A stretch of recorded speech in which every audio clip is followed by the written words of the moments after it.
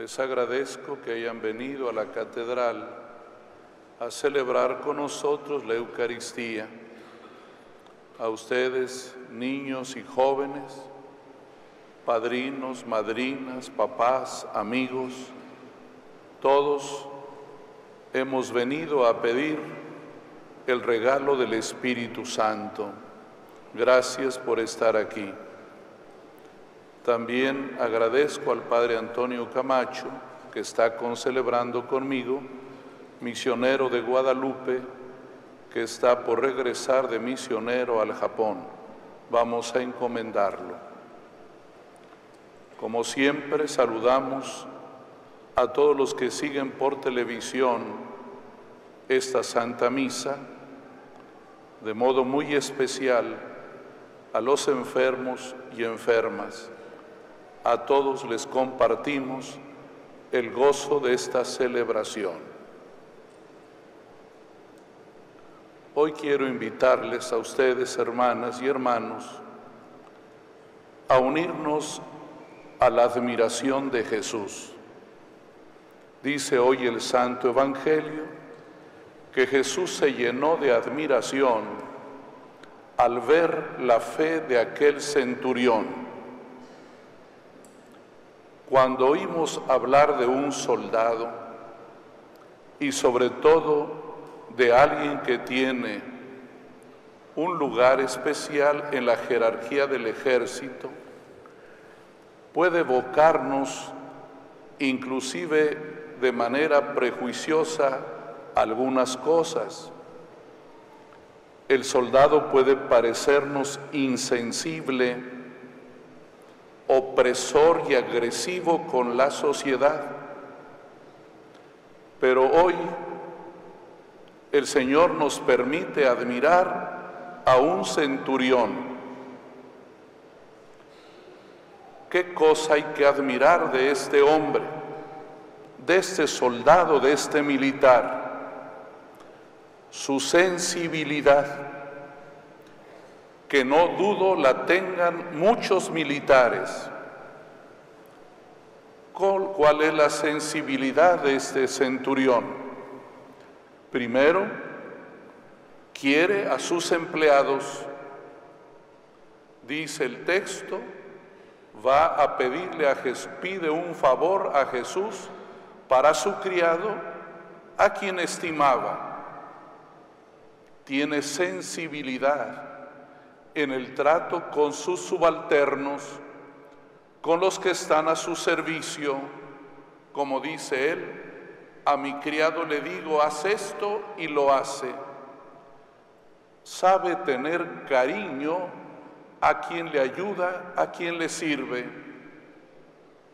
La segunda cosa que también admiro del centurión es que tiene sensibilidad al pueblo al que sirve. Quería a Israel. Él estaba ahí con una encomienda, poner orden, recibir órdenes de Roma para someter a la comunidad pero él tiene algo bien importante. Respeta y quiere al pueblo donde vive. Tanto es así que le construye la sinagoga sin ser él creyente.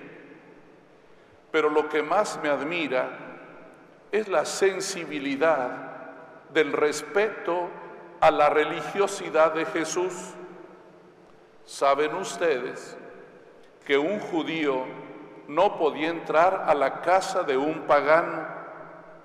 Si entraba, quedaba impuro para la oración vespertina. Tenía que hacer un rito de purificación y de ablución. Cristo siempre se atreve a romper esos esquemas lo había hecho en otras ocasiones, cuando va a la casa de Mateo y come con publicanos.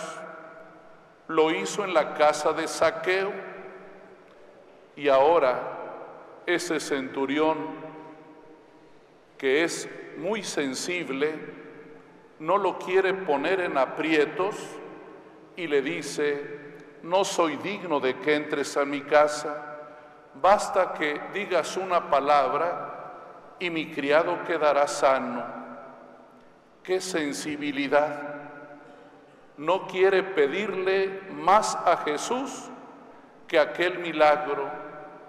No lo pone en aprietos. Respeta su religión, respeta sus convicciones. La tercera cosa que admiro también del centurión es la seguridad que tiene en el poder de Jesús. Basta que digas una palabra y mi criado quedará sano. Es más, no me atrevo ni siquiera a presionarte yendo personalmente.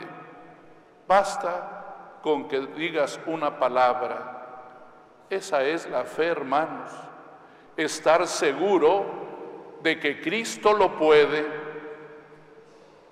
Esa es la fe, la certeza, la seguridad que llevas en el corazón de que Cristo puede hacer las cosas. Por ello, al final, Jesús dice, no he visto en Israel alguien que tenga tanta fe como este centurión Vaya que tiene fe, sensibilidad, es un hombre hecho y derecho. Por eso ama y trata a su criado.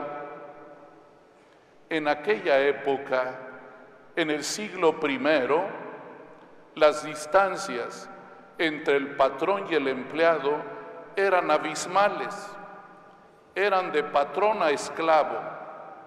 Que ese hombre se preocupe de su criado refleja un gran sentido de humanidad y más cuando se trata de respetar a la comunidad donde vive, a Israel.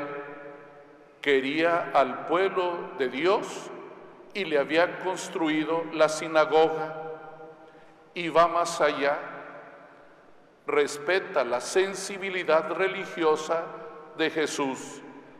No te expongas a entrar en mi casa, vas a quedar impuro, cosa que yo no quiero.